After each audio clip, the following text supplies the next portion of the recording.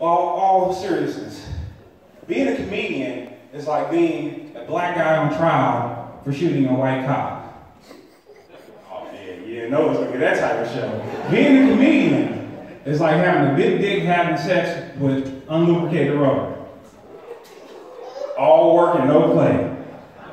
So you can tell I have this weird mind, but I'm blessed to coach junior high kids, right? So I'm at basketball practice, and this is one kid. We've never met his parents, not one time. So me and the coaches were walking out. He's sitting on the on the side. Uh, his name's Mikey. We're like, Mikey, how you gonna get home?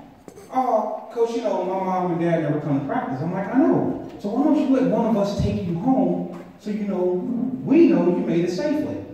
This is what Mikey said. Oh, my parents don't let me ride with strangers.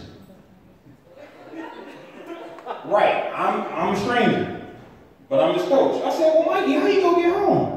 He's like, oh, well, coach, I'm just gonna take Uber. Right. I can see some of y'all slow. Strangers drive Uber, you know. So I immediately immediately left practice and then went to Walgreens. All y'all from St. Louis? Yeah. Okay, so y'all been to Walgreens at Big Bend and Clayton Road.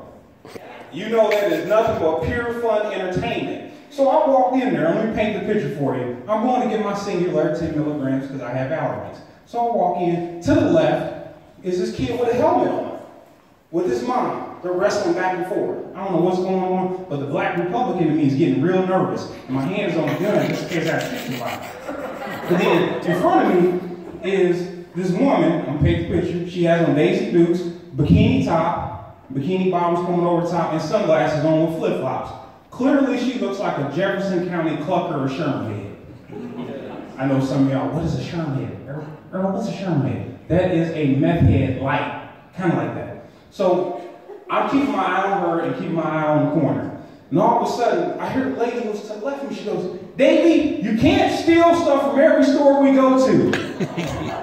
he said, bitch, I stole in fair square. I'm nervous. I know, because my mom would slap shit out of me.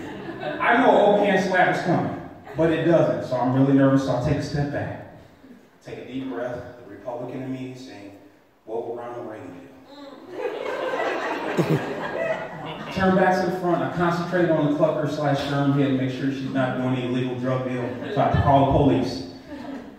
She says to the pharmacy tech, I need my medicine. Pharmacy tech says to her, Well, what's your name? She says, I'm not telling you my name. I immediately know this is a bad drug deal transaction.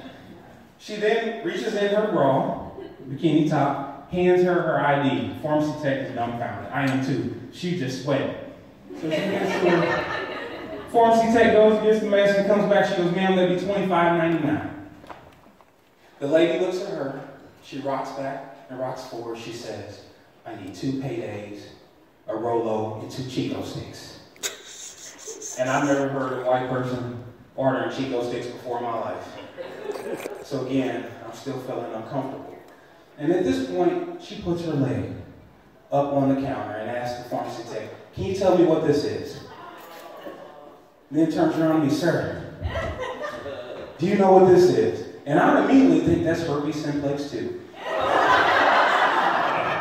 And this would be a hell of a way to contract the STD. How am I going to tell my sexual partner I got it by standing in line at Walgreens trying to get my allergy test? right. So little Davey comes up out the corner with the helmet on, with the camera phone. He snaps a picture goes and sits back down. I don't know what's going on. I don't know whether to shoot somebody or call the police.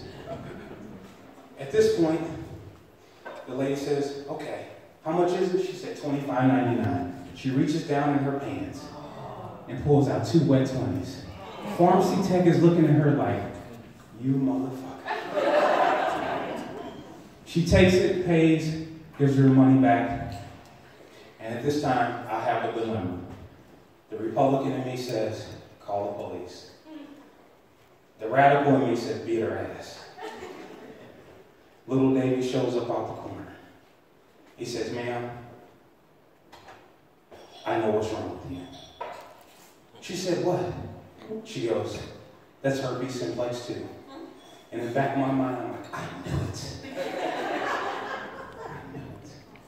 She's like, well, what should I do? Pharmacy tech says, I can't tell you what to do, ma'am. I'm not a doctor. Go see your doctor. Little Davy says, pulls out a radio. He goes, I know what to tell you, ma'am. All this happened because you were talking to strangers. She got really quiet. Davy got quiet. His mom got quiet. And all of a sudden, I don't know nowhere, he said, But you could have stopped this from happening if you just had a little ah, pussy